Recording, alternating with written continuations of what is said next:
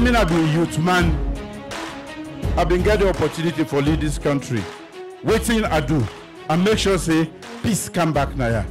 i make sure say i bring back democracy. I don't come back. I the i consolidate democracy na that make i say they the make the pressman and get the freedom for right wetin dem want for right me i know say i no get nothing wey they do where they hide. Wetin i dey do na kono? No to politics. It is truly not politics.